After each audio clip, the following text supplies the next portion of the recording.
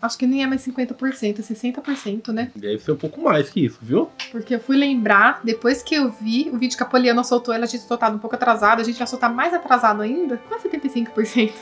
Vamos lá.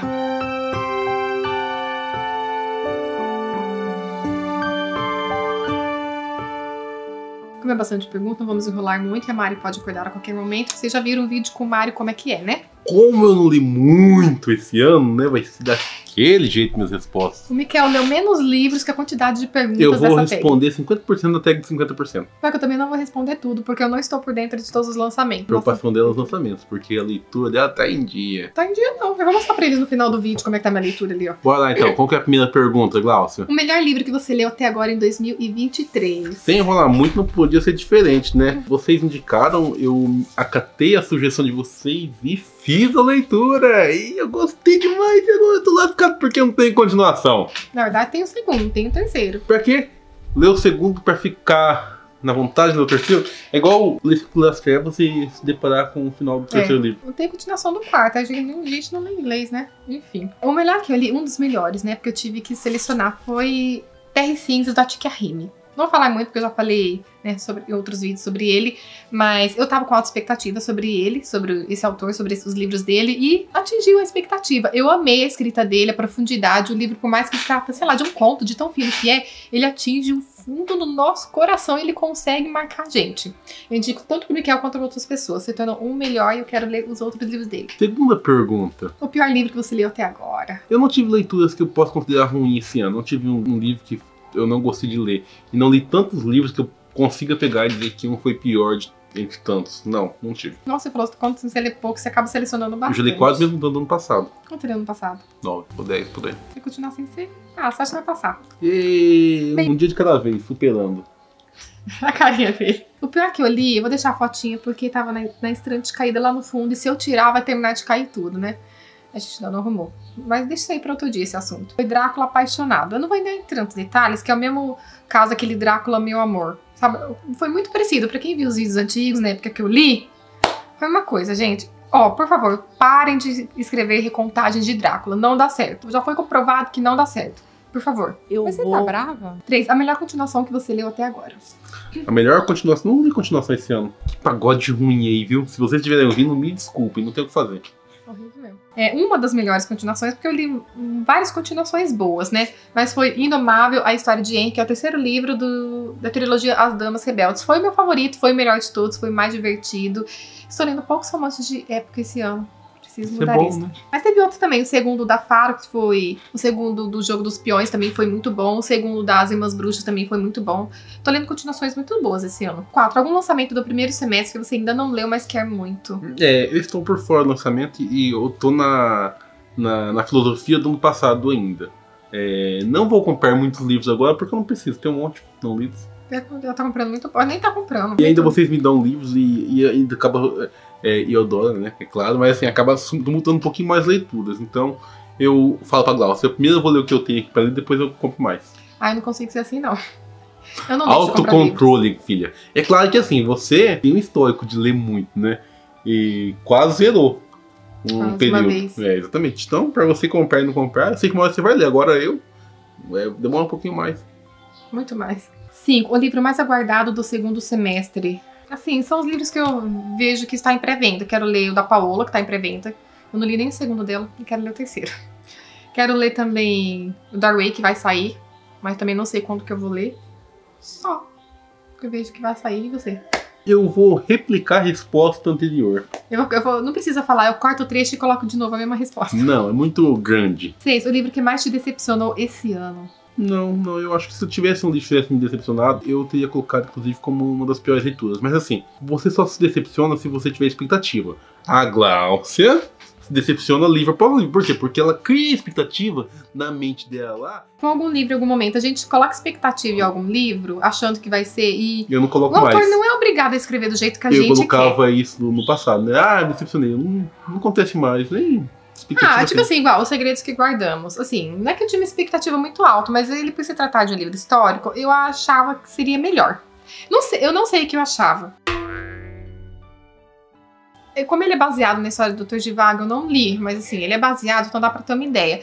E eu já falei mil vezes nesse canal, vou repetir, não é, não tem nada a ver com pessoal, mas eu não gosto de histórias que ficam sendo construídas em sabe? Através de traição. Aí o autor fica romantizando a vida da protagonista. Tá bom, tá bom, tá bom. Já, já explicou um pouquinho. Aí fica, sabe, naquilo, meu, sabe? Como se fosse certo aquilo. Não, gente, não, não, não, não. Não só isso, mas assim, o livro, a protagonista se perde durante a história. Acho que ela fica tão desnoiteada da vida, que tem hora que ela sabe nem mais quem ela é, sabe? Não sabe nem onde ela mais tá. Então, não sei se foi ela que se perdeu ou a autora que se perdeu, mas o livro, a história ficou perdida no meio do caminho. Então me decepcionei. Ele começou bem, mas foi decaindo. O livro que mais te surpreendeu esse ano? Não poderia ser diferente, né? Um livro com poemas, eu acho que não poderia ter outra reação minha, não ser surpresa em ler e gostar da, da leitura, inclusive. Foi uma surpresa, sim. Pra quem não tem costume de ler, né? Exatamente. E deve ser esse aqui que eu coloquei. É porque eu não achei todos os livros, aí eu coloquei uma resposta a caneta e colocar foto, mas deve ser isso aqui. Para ser com amor. Eu já esperava que fosse um livro clichê, sabe? Mas ele me surpreendeu porque o clichê dele me encantou tanto. É tipo um clichê meio de conto de fada, sabe? Aquela coisa que a gente só encontra em filme. A gente sabe o que vai acontecer. Tem, tem. Mas ele me surpreendeu e ele se tornou um dos favoritos do ano. Vocês podem crer que ele vai estar no top favoritos no final do ano. Ele me surpreendeu e ai, eu amei, gente, eu amei. Vontade de reler ele, de tão gostoso que foi. Por isso que as pessoas contam, escrevem clichê, porque tem quem lê. Né? Não, tem o clichê forçado que, ai, tipo, a gente não aguenta mais ver. E tem aquele clichê fofo que, ai, tem que falar, que entrar no livro. De tão lindo que é. Um livro que você abandonou esse ano. Não foi, não sei se foi abandonado esse ano, mas continua abandonado. Mas Nossa, só que eu pretendo, eu pretendo, eu pretendo retomar. É, Passos Filhos, inclusive, que é, a Samara leu, a Glaucia leu. A Samara terminou? Eu não lembro se ela terminou. Terminou, terminou sim. Inclusive, ela falou que foi um dos leitores perfeitos, né? Ela gostou então. bastante. E mesmo assim, isso não te, te anima a terminar? Me anima a terminar. Me anima a terminar, mas só que Deixa eu colocar em dia os, os, compromissos que eu tô fazendo. Eu não abandono livros, né, gente? Eu leio mais devagar, eu tô reduzindo agora meu ritmo de leitura, igual eu estou relendo Os Miseráveis. Era para reler com os membros, né? Ai, gente, eu tava pensando, eu não vou fazer mais é, leitura conjunta dos Miseráveis. No caso, assim, no caso, tem que ser releitura, porque eu já li. Porque no final das contas eu sempre fico sozinha. Eu achei que dessa vez o pessoal ia me acompanhar até o final. Mas eu não vou, não. Dele não vou mais. A pessoa pode pedir o que for, gente. Eu vou ler sozinha ele agora dessa vez. Não dá. Por quê? Porque o pessoal me abandona. O livro é tão grande, ninguém consegue ler até o final. O pessoal tava tão animado no dia, eu falei, não, o pessoal vai ler comigo até o final. No final das contas, todo mundo me abandona. Bom que agora eu tô lendo o meu tempo, tô relendo o meu tempo. Enfim, não faço mais Os Miseráveis. Tá brava? Me ferraram! Ah, não dá, né, gente? Não dá. Tá vendo? Não é só eu que um compromisso não cumpro. Todos vocês! Tá vendo como que eu me sinto agora quando que a Glaucia fala que eu não cumpro as coisas? Aí, ó. Ah, mas desanima. A gente, sabe, abre projeto de leitura porque você espere e no final das contas vocês me deixam na mão. Desanima, sabe, algumas coisas. Desanima. É por isso que eu já tô, já tô pensando até bem antes de abrir certos projetos de leitura. Nove, novo autor favorito que lançou seu primeiro livro nesse semestre que você conheceu recentemente. Eu já conhecia é, é o nome, né? Mas como autor e como leitor, eu tô conhecendo ele agora, que é o Walter Carrasco. Eu li esse livro aqui dele. Nossa, eu achava que ele era mais velho. Ele é, mas essa foto não é de agora não, né, Glaucia? Essa foto é bem antiga. Eu vi na, na Bienal, tava junto com a Carol. Ah, você viu? Vi. Ele tava lá. Valcir Carrasco, você nem me mostrou? Não vem com hipocrisia, não. Eu te falei. Você falou, mas eu não lembro de ter visto. A gente mostrou pra você. Eu não lembro dele nessa foto. Você vive o que você viu o que você quer. Bienal, meu filho, eu não lembro nada. Tava tão cheio. Você ainda respondeu alguma coisa, não lembro o que foi. Mas, enfim, é, é esse livro aqui. Eu não lembro dele, não. É, e o autor é o Walter Carrasco. Vida de Droga. Uma autora que eu gostei muito de conhecer, na verdade, alcançou a expectativa que eu estava por, pelos livros dela, a Jack Spotswood. Estou lendo neste momento o terceiro livro, que é. Esqueci o nome. A continuação dele. E eu amei. Gente, os dois primeiros livros foram bons e o terceiro está indo pelo mesmo caminho. É trilogia que é boa do começo ao fim. Se eu tivesse tempo, eu até gravar um vídeo sobre isso, trilogias que são boas do começo ao fim. Mas como estou sem tempo, que vocês podem pegar seu medo. Qualquer livro da Jack Spotswood, eu quero ler. Eu quero ler. A gente tá ficando rápido. Ufa. Tá, porque não dá, Samara corda. 10. O personagem favorito mais recente. Eu vou citar um personagem aqui e você fala assim, poxa, mas esse. Bom, se você ler o livro até o final, é, eu acho que você vai concordar que. Acho que pela superação, pelo desfecho, embora tenha quebrado a cabeça o livro inteiro, eu acho que todo mundo merece a chance de um recomeço, né? é a Dora do, do Vida de Droga. Por que ela é a favorita? Ah, pela, pela força que ela teve pra se recuperar. Ela deu muita mancada, fez muita cagada. Não foi alguém que você pode espelhar, que você pode admirar no, decorrer da quase, quase a história inteira. Mas no final eu acho que mostrou um pouco de esperança, né? Então eu achei assim que foi bacana. Que bom. A minha vai ser a Kim do livro Kim Jong, nascido em 1982. Acho que o Mikael vai imaginar por quê. Eu vi o filme. Então, é, eu me identifiquei bastante com a história dela. Na verdade, eu e o Mikael nos identificamos com a história dela e do marido dela. E por causa disso, sabe, da, da luta que ela e eu passamos diariamente para dar conta de uma vida de mãe, de uma vida de lar, uma vida de trabalhar fora, sabe? E pela identificação. Unicamente que ela se tornou favorita. É como se fosse contando a, a minha história do Mikael. Não assim tão radical, porque como é cultural, tem algumas mudanças, né, Mikael? Lá, mas é. Experiência de vida. É, experiência de vida, pelo que estamos passando no momento. 11. O livro que te deixou triste nesse primeiro semestre. Responde a sua aí, deixa eu ver se tem. um. Vou respondendo? Enquanto o Miquel eu vou respondendo. Antes de partir, do Charlie Don Lema, me deixou triste, não assim, de decepção, algum fato, mas porque a história é triste. E quando você chega no desfecho, eu não sou de chorar literalmente, mas fica com o coração apertado. Você acaba o livro com um sentimento triste. Né, Miquel? Não é nem de esperança, por causa do desfecho, é realmente um sentimento triste. Eu não lembro. E Nem... já tudo que aconteceu. Oxe, Miquel, antes de partir, que é o livro branco. Ah, é verdade. Não tava na minha coisa aqui, ó. Ah, então eu não anotei, não. É verdade, eu li ele com. Então você leu 10 livros. Eu tenho que atualizar. Tá vendo você boicotando minhas leituras aqui? Ah, não, tá aqui sim, ó. Antes de partir, ó. Você leu em janeiro. Ó, gente. Você leu janeiro e fevereiro, tá até Eu aqui. não vi. Ah! Eu nem-. Você vai acordar só? não vi. Não considerei ele nas minhas respostas, não. Não sei como você não colocou 1984 em nenhuma resposta. É um livro realmente triste. Não tem como, assim, o final, por mais que tenha resolução para um dos personagens, mas não tem um sentimento triste no final, porque não tem jeito. É uma história triste. O livro me deixou feliz nesse primeiro semestre. Eu sou igual o. Como que é o nome do, do, do, do pai lá do, do Coragem com o Covarde? Edmundo? Tem o nome dele não, Não sei, eu sou ranbugento, ranzinho. Ah, tipo, que, que você gostou. Eu Eu acho, acho que- eu acho que o Miquel não leu. Nossa, o Miquel só lembra livro pesado. Agora que eu tô lendo, não tem nenhum lembro que te deixou feliz. Eu não posso ser feliz com tragédia? Então qual te deixou? Eu, eu acho que esse, esse livro de poema aqui, acho que. Te causou boas sensações. é, eu fiquei feliz por ter gostado desse gênero. Eu, eu acho que eu fiquei até, de certa forma, satisfeito e, e contente com. Apesar de ser histórias tristes, né? Mas acho que no caso desse livro é particular, não é desse gênero. Se você pegar outros poemas, Exatamente. talvez você possa não gostar. É que esse realmente. Exatamente. É, mas eu fiquei feliz por ter dedicado livro- meu tempo a essa leitura e ter conseguido. Encontrar É. um livro desse gênero que te tocasse. né? Exatamente. Bem, pra mim, eu vou repetir para si com amor. Pra quem viu meus stories, gente, eu, eu fiquei tão feliz com aquele esse livro, eu acabei com um sentimento tão bom, sabe? Que parecia que o mundo era perfeito naquele dia, era cor de rosa.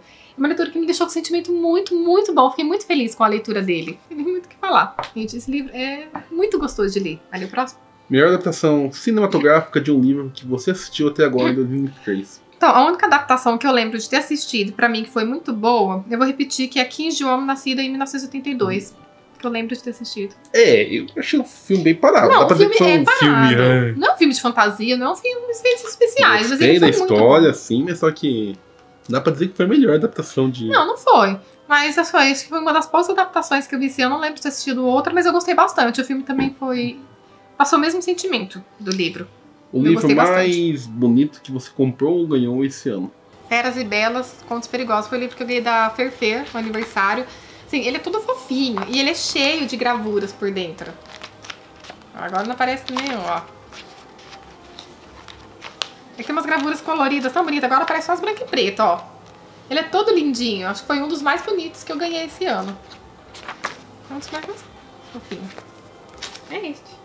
É, eu ganhei dois livros recentes aí que estão aqui e eu gostei da capa deles. Nossa, olha a capa que você acha bonita, depois vem falar da minha. Não, esse, esse aqui a capa é bonita, dá uma olhada.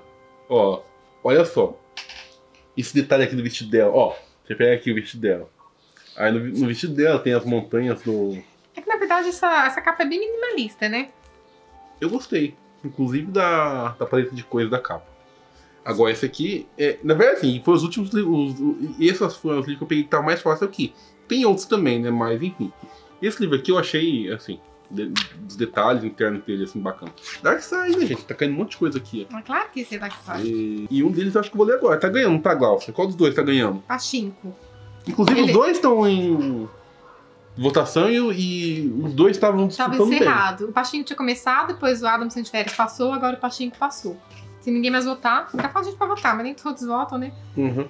Aí vocês vão falar, ah, mas que votação, gente? É, esse é pros membros, fechado pros membros. É leitura exclusiva, fechado com eles. Se vocês quiserem participar, veja as opções aqui embaixo e torne-se membro. E acompanhe com a gente. Inclusive, tá tendo um, um desafio no Clube dos Membros. Vai valer 200 reais em livros. Ou um vale presente. Ai, que delícia! Mara, acordou? Acordou? Vai falando aí pra ele sobre isso. Então, vai durar mais ou menos uns três meses. O Miquel tá soltando três é, desafios mensais. A Mari acordou. Ainda bem que tá acabando três mensais e no final disso vai ser um vale presente de 200 reais em livros. Dá tempo de participar ainda. Quem quiser correr, né? Dá, não sei como que vai ser, pega as perguntas atrasadas. Traz ela aí, né, Miquel? E por fim, é, pra terminar, quais livros você precisa ou quer muito ler até o final do ano? Isso eu vou mostrar para vocês. Aí, ó. Eu acho que ela, ela só acordou por causa do calor, ó. Você não tá com o ar ligado? Coloquei, mas. Eu tinha colocado 24 porque na hora que tava, tava frio. Nossa, tadinha.